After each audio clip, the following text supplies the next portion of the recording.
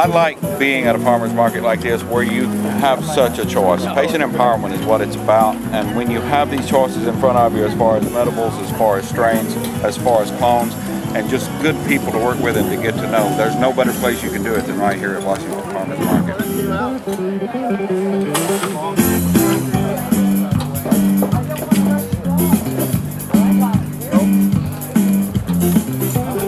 When's your next event? September 17th in Olympia. Come to our Washington Farmers Market. Now, if somebody wanted to get a hold of Sunshine Organics, what's the easiest way? Give us a call 360 970 0213.